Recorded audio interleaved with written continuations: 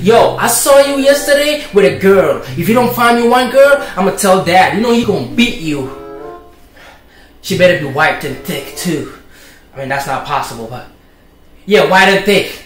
If it, even if it's plastic, I like it. Mom makes you sweep the floor and then she tells you to, to, to, to, to wash the dishes because you're the slave of the house.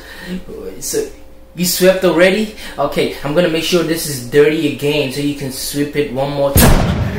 Ernest beat me and, and, and he, he stepped on my toe. He said he's gonna do it again. And then he, he slapped me. Oh, oh, oh. Mom, I'm only telling you this because Ernest forgot to help me tie my shoelace. Yesterday, he brought a white girl in your bedroom.